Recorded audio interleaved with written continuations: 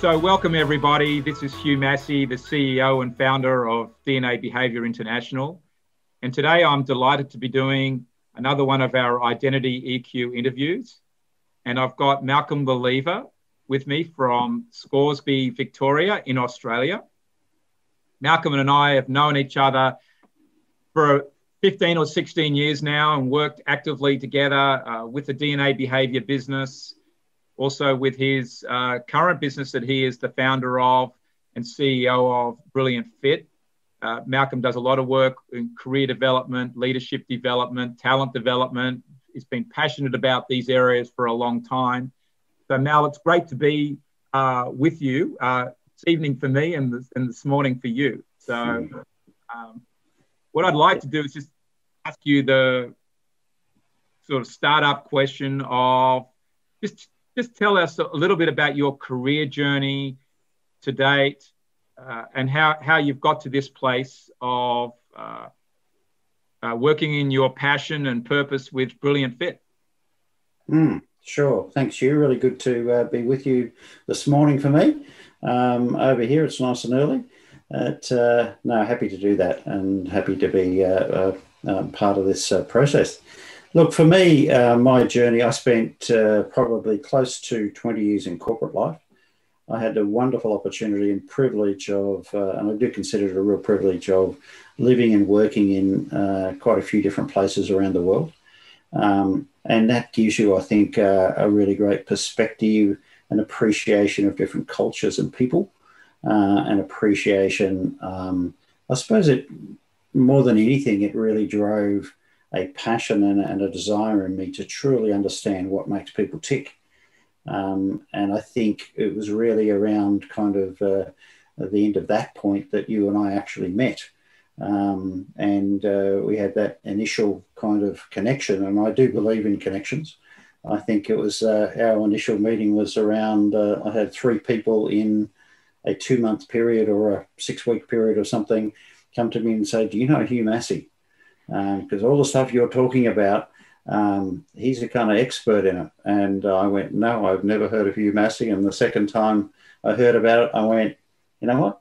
Second time in two or three weeks, someone's mentioned someone's name, and I start to take reference of these things. And by the third time, I went, I just need to get on a plane and go and meet you. So that kind of, if you remember that uh, that that time when we actually connected and and I felt our, our kind of paths were aligned in, in different ways of truly understanding what makes people tick. Um, and you've had this brilliant technology that's been around for around 20 odd years now. Um, that's been really a core of, of who we are and why we've developed BrilliantFIT. Um, so it's been, you know, it's been a great journey. Uh, it's been a fascinating journey. It's been an incredible uh, uh, self development journey, if you like, you. Um, as you know, when you go on these entrepreneurial journeys, there's a oh, challenge. It, it, it's been an amazing journey, Mal, and, and you know, we've both developed, but the, the big thing is we've never lost the passion, mm. wanting to know how people tick, but also, you know, the caring that goes on with that because it, you mm. know, our mutual desire to to see people maximize their potential and make the most of who they are mm. uh, has always been fundamental to that uh, for both of us. I think that's mm. at the end of the day that's uh, that's what kept that's what's kept us going um, mm. and developing. But when you when you worked in the corporate career, what was the pivotal moment? Was there a pivotal moment in there that got you to shift from you know, in a way, more of a results based world, if you want to call it that, to dealing with human nature? There were several, but one of them that really comes to mind is um, uh, I was in the middle of selling a company, and uh, we had a team of people who were in the process of doing that. And uh, a tragedy occurred within a family member of one of the team. Um, and uh, in fact, they, uh, the, this person's uh, child took their life um, in a very tragic way. And we were right in the middle of this kind of really important, intense process uh, of selling a business. Um, and I probably make one of the better decisions in my life. I stumbled over a great decision. um, I actually stopped the process in mid flight and I halted absolutely everything. And I simply said, We're going to turn our attention and we're going to support this person um, as a team. And uh, probably one of my better leadership decisions that I made. Uh, and I was, you know, relatively young at the time. I was in my kind of early 30s.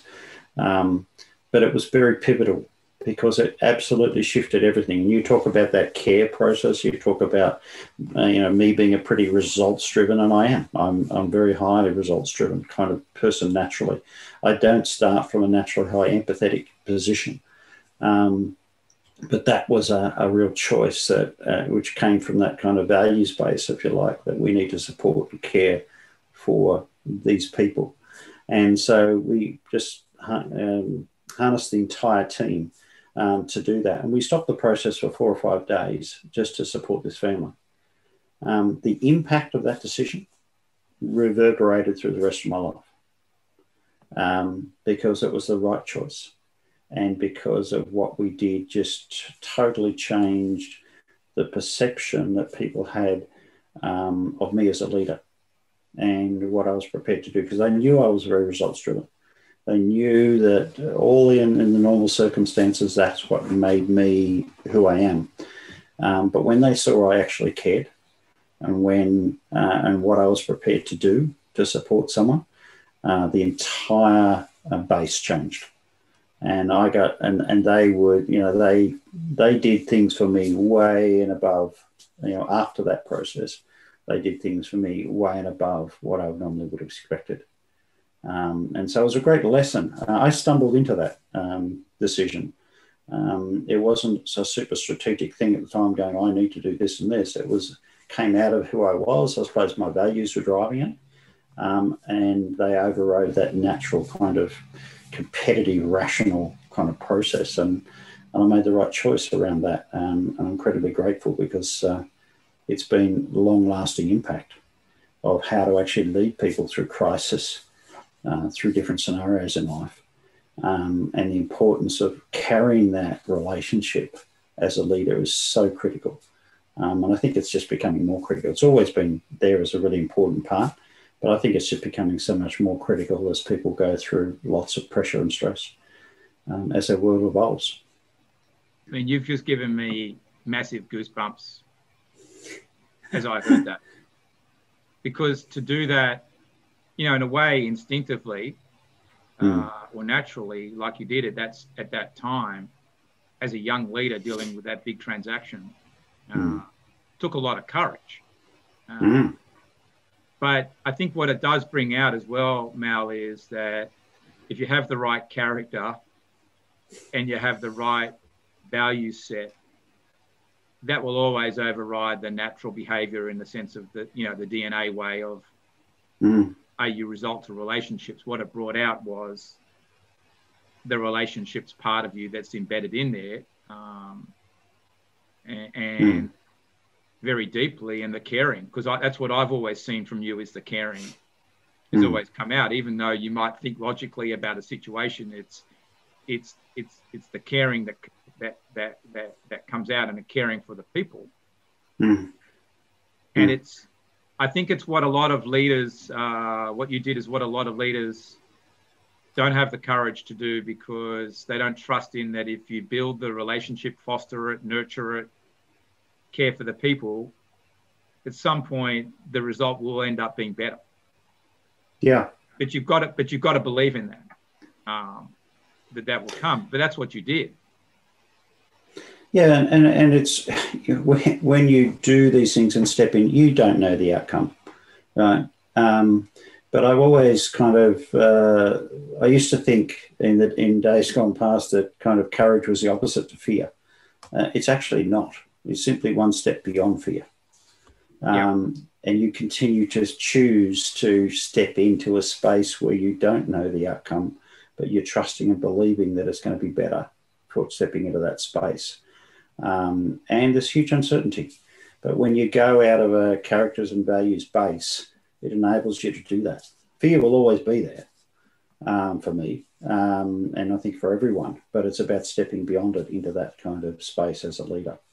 But as leaders, you've you've you've got to have you've got to have that character. Mm, absolutely. And, totally. and, and, and, and, and, and, and, and you've got to then have the courage to make the right decisions um, mm. That come with that, that are based on uh, values and human values. Yeah, it's interesting around the, the values piece. It, it kind of prompted something else as you're talking then. One of the other uh, probably quite defining moments for me as a leader was um, uh, again, I was uh, not dissimilar time to this. I, um, as a young leader, I was the first to put up my hand around, uh, you know, getting some upward feedback uh, from my team. It was a time when upward feedback had it was quite new um, in organisational development terms. So I said, I'm I'm one of those people who I'm kind of an early adopter, if you like, uh, of ideas and concepts. So I said, right, I'm, I'm going to do this, I'm going to nail it, right? And so uh, I engaged in the process. Um, when I got the results back, uh, it took me three days to process them uh, because I my first reaction literally was, well, these aren't these must be the wrong result. So it was quite a, uh, a, a, revelation to me that um, what I was doing and what my intentions were were not aligned to what people were experiencing. So it was yep. a pretty fundamental shift in understanding other people was to understand yourself. Um, and so, you know, as I say, good intentions don't cut the grass, right? Um, it, it's really about what you do. Uh, and so, as part of that process, I got that feedback and I went on this journey about, well, what is it? How do I unlock the people who work for me? How do I truly understand them? And that's going to mean I actually need, as a leader, to adapt um, because I can't just expect them to operate like I do. So how do I actually unlock them? What are what what are the things that are really important to them? What are the drivers for them? What do they do well? How do I how do I amplify um, that kind of thing? So I went about a journey of really working hard for the next year, and uh, to do that, and I went through the process again, thinking, "Great, I've nailed it." because you know ambition and drive are a natural part of who I am in my talent DNA. Um, and so, uh, you know, in my naivety, I thought, right, 12 months, I'm going to absolutely nail this and it's going to be great. Um, I got the results back and they were really significantly better, right? But they weren't this standard in that top five or 10% that I was expecting. And so that then put another kind of filter over me that this actually needs to be a lifelong journey, right? that you know if I seriously want to understand what makes people tick and what drives them, um, and how do I kind of uh, activate that kind of divine nature within them, right, I'm actually going to have to go on a journey myself.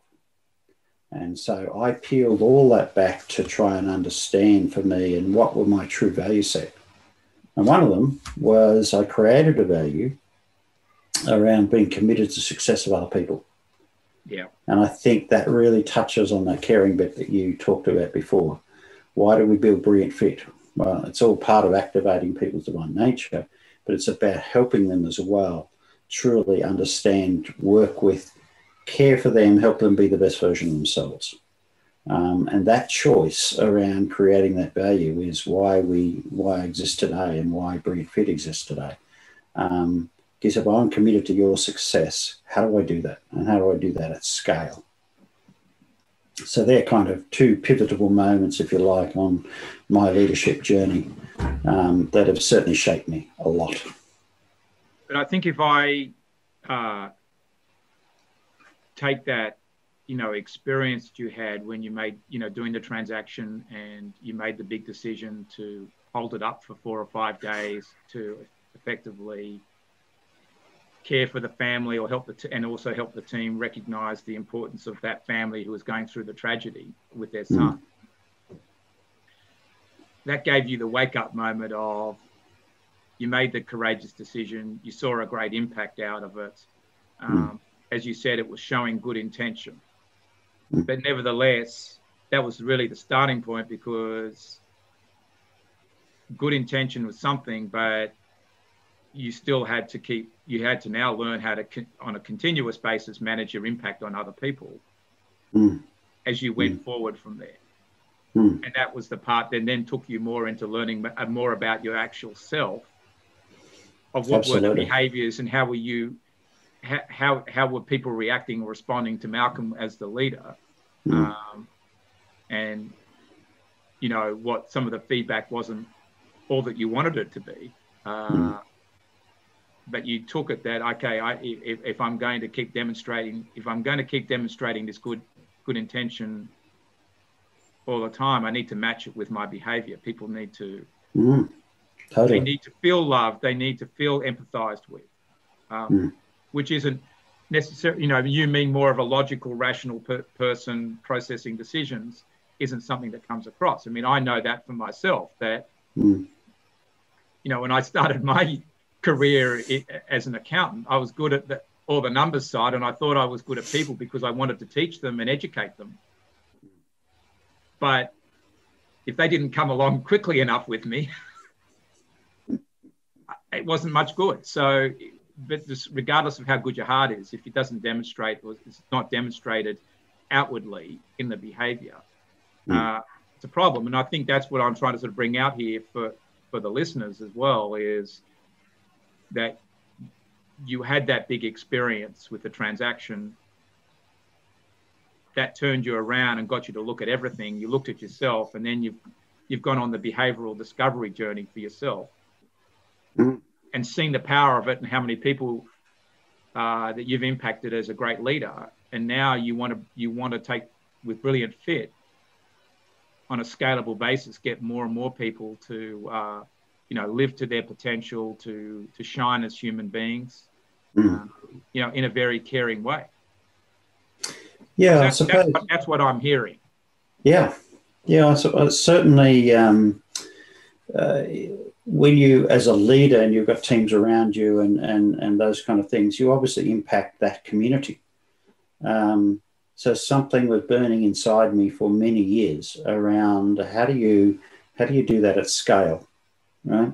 So my training ground was you know 20 25 years of of uh, working with teams, leadership, that kind of thing, coaching, um, developing, working with you, understanding things, getting much deeper insights.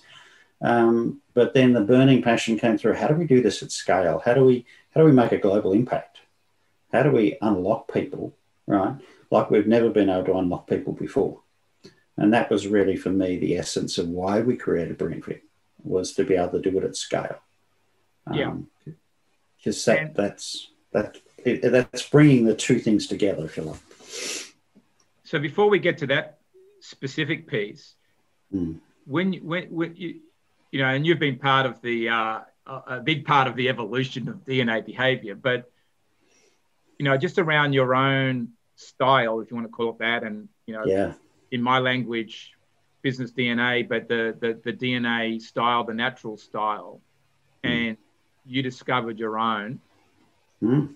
Absolutely. Um, and, and you know, completed the process, discovered your own, and you know, just for our listeners, you, you're you're an initiator pretty similar mm-hmm. to me in a lot of ways. Uh, we've got some differences though. Um, mm-hmm.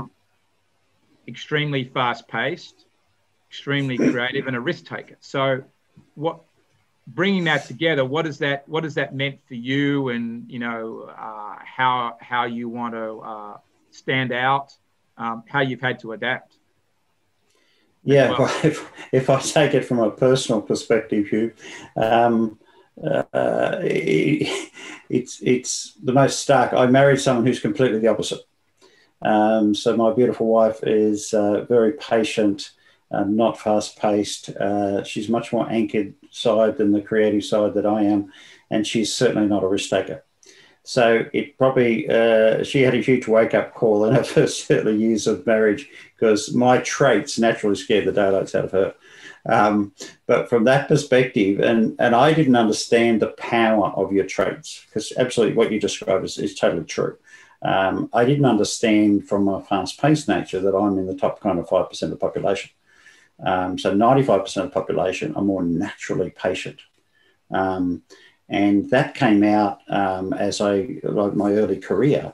Um, they, you know, a lot of the feedback was you are really, really good commercially right? You can understand concepts, you can do things.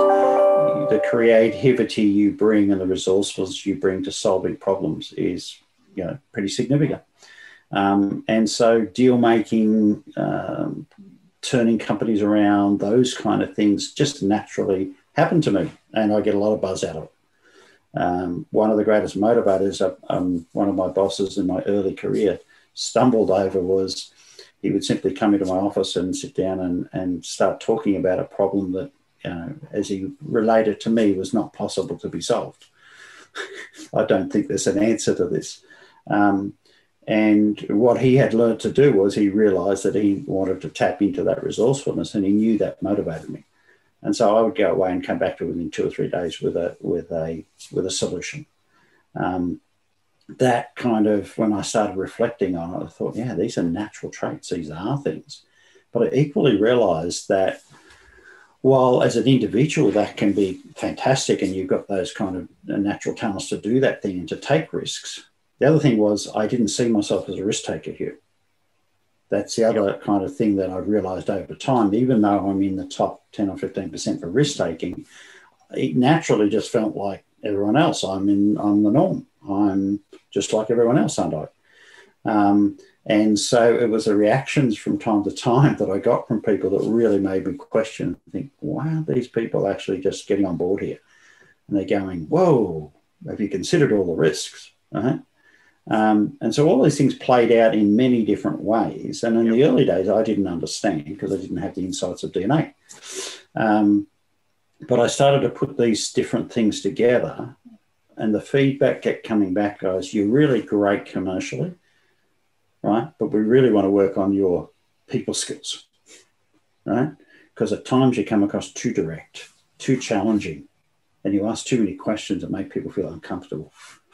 And so uh, that was uh, that was a real kind of pivotal moment, if you like, when you get more and more of this feedback coming in. You go, well, how do people see me? Let's let's get some. And to me, you know, having the evidence is actually quite important. And the evidence can be anecdotal. It, it, it can obviously be survey based as well. Um, but it's what you do with that feedback that's actually critical. Um, and so I actually that's you know part of where that journey began um, to make those changes. And you know, definitely for me, in knowing you, I've seen your ability to solve problems um, is outstanding. To see solutions that are way ahead of uh, anybody else ever seen them. Um, you know, to being able to package something up, mm. uh, and it be and it be logically uh, driven uh, you know, the, all of those things are there. But I've also seen, you know, as we've talked about so far today, Mal, the caring side of it. Mm. You know?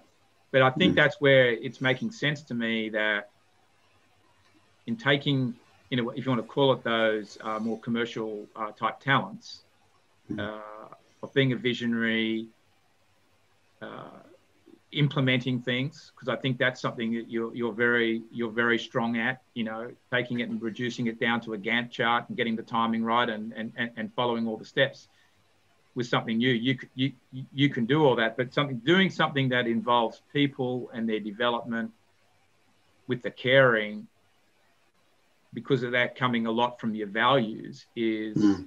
something that's very unique.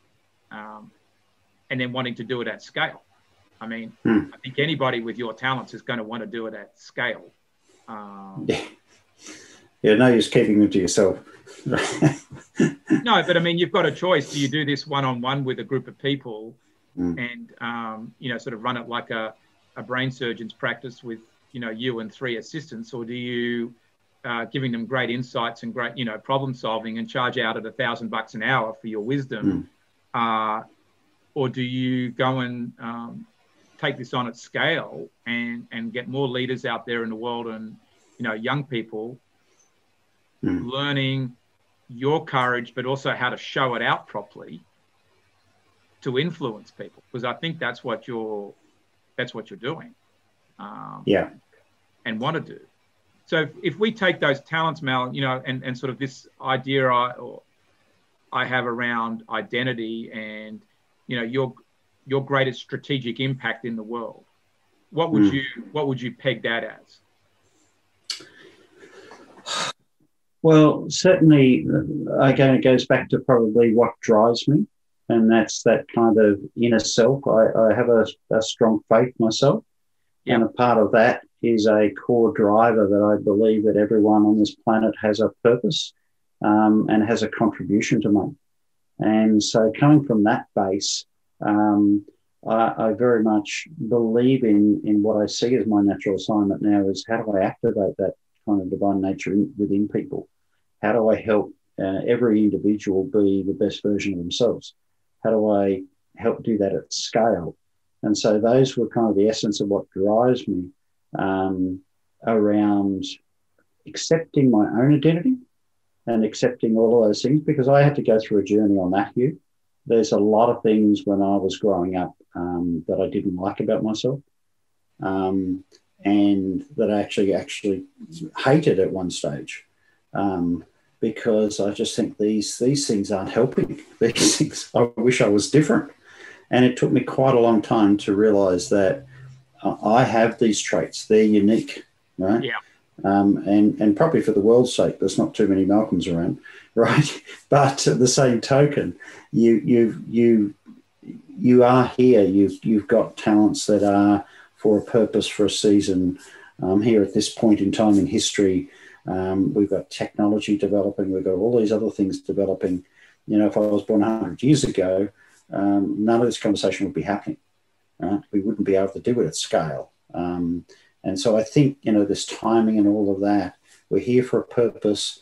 And part of that is aligning for me um, around that. Um, how do I how do I do that? How do I fulfill what I'm actually on this planet to do? And I think timing is you're right. Timing with technology is played into our hands. You know, the technology has been evolving, or technologies have been evolving over the last 20 years, or really even before that, but they've accelerated. But to be able to do something like what you're talking about to help people, um, you know, activate their divine nature at a, at scale, literally at scale, thousands, millions of people, because that's really mm. what you'd be thinking is, mm. how do I do this with millions of people globally? Mm. Uh, you've done the learning about behavior, yes. but now activating that using technology mm. brings, but bring to do that, you've got to have the uh, the innovation skills that you have. Mm yeah. and the logic ability to piece it all together, uh, the commercial experience that you've had, you know, from going way back past 20 years doing doing these big transactions. Mm. Mm. You and, and the real life experiences as well of dealing with people in in in all sorts of situations. You can't just you just can't wake up and build a system to do this. Um, no, it, it, I felt it was a combination of 30 years. And I felt it was a combination of even doing the behavioral stuff that we did for many years and doing the one to ones and the team and all those. It's packaging all of that experience together. Um, and it's the uniqueness of the timing, it's the uniqueness of where technology comes into play. Um, it's that entrepreneurial drive to push against you know the impossible barriers um, you know, we've done stuff recently where um, even in creating a whole uh, video content library that wasn't there before. Right, the way we've done it, just no one else had done it out there, um, and it was to solve problems and to do those kind of things. So I've been incredibly grateful for the people that I've had around you. Also, your support, you, um, you know, you're the the king of the, the behavioural insights, if you like, um, and just you know your openness. And I think that that relationship that, that we developed maybe 17 years ago, or whenever it was, um, you know, that connection point. Uh, I think it was based on character um, to start with. I didn't want to um, say that at the beginning of the call, but I think that's a great uh, uh, place to be at right now. It's it's about character, um, mm. and you know you've always demonstrated it through everything, even when you've you know had some knocks. You've always made the right decisions. I think Mal, you know, in dealing with people, that was that's not just around me, but that's with with many others. Mm. Um, I think I've been fortunate to see Lee Ellis do the same thing. You know, mm. to have two great people uh, in my life that uh, to watch make courage, you know, character-based decisions with a lot of courage Mm. Mm. is fantastic. And that's why, you know, Lee's been in my life for 20 years. You've been in my life, you know, coming on for 20 years. And there's a couple of other people, Mm. you know, for similar reasons. And I think at the end of the day, that's what that's a big lesson anybody listening to this today should learn is character and values trump everything else. Mm. But Mm. the behavior with the right use of them with the right purpose can take you a long way. Um, and I think. Technology today that exists and you're able you've got the smarts to capitalize on how to create thousands of videos to make the uh, behavioral experience dynamic so people will live and feel it Mm. not just read it on a sheet of paper or on a computer in a dashboard Mm. Mm. is brilliant and that and that's what's going to make that's what's going to make a huge difference uh, for a lot of people because they'll they, they will but they will ex- through those videos they'll experience your caring and that Mm. and that's why i'm not doing videos in that same way because i can't demonstrate I, I, I care and you know that but I, Mm, I can't absolutely. demonstrate caring in the way that you do and and the support of jared that you have Mm. and i think that's going to be that's going to be the winning touch with this Yeah, it's a, it's a, it, it, those kind of things and those development have to come from a very strong character base and a very strong values base. Um, and it is driven very much out of my, you know, that, that value that I created being, I'm committed to other people's success. So what does that mean? What does that mean in a situation where I've got to run into a difficulty with someone? If I'm committed to their success, what does that actually look like? How do I need to adapt? How do I need to work with that? um, uh, to do it, and it's it's been foundational, um, and it's helped us push through a lot of things. But I also think, just as we conclude up here, Mal, the videos Mm. are going to be a live way, a relatively live way, that you can show you're committed to every team's success, even if you haven't met all the people. Yeah, absolutely. They're going to feel your presence in Mm. those videos and that Mm. you care for them and that they need to demonstrate that caring with their colleagues uh, and, and the others in their life that, that are experiencing, you know, the, the, the, the DNA discovery and, and their own leadership experience and what, and what courageous decision they need to make. Yeah, And I think Yeah. that's where, that's where really the videos are going to be a game changer in that sense.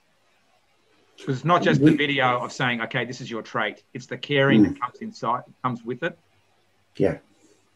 And- And, and- one, one of the things that I think that we, I suppose, is captured in the phrase, how do we learn to honour the people around us for who they are and what they bring without stumbling over who they're not? Yeah. And that kind of is a framing, if you like, the way we put these videos together, the way we put the team insights together, the leader insight, those kind of things. It's, it's how do we honour people for what they're bringing to any scenario, any context, both as an individual, as a team member, and maybe as a leader. Um, how do we honour them for that without stumbling over their weaknesses or their challenges or their struggles in different ways? And that's the caring aspect, I suppose, uh, Hugh, that you're talking about there. And Yeah. And you'll be uh, able to bring that out in the video because it can't come out on paper. No, no, it can't. And it can't Not come out in the way. tech, can't come out in technology itself. But, you know, as we're all learning, technology is the enabler. And yeah, absolutely. and it's going to enable you to put the human touch on this for thousands and millions of people. So, you know, Mal, I'm really glad for you that you've worked out how to do it, uh, to activate this, to, uh, um, you know, develop and nurture so, so many people, and you're going to do multiples in the future. So this is it, this is fantastic. Mm. Thanks, Hugh. No, I really appreciate that uh, support and encouragement. Um, we've come on a, a journey the last 20 years, and hopefully we've got another uh, good 20 years or more uh, in front of us. To, Well, uh, you've inspired me to go even further on on on on, on my part of this. So, uh, yeah, we, we, we're going to be doing, um, you know, many great things yet together, uh, and, and it'll be great to see you in person when we both can travel. Um, indeed. But, but it's been great spending time with you today, Mel. Thank you so Yeah, much. Thank, thanks, Hugh. Really appreciate the opportunity and uh, all the very best uh, uh, in the US.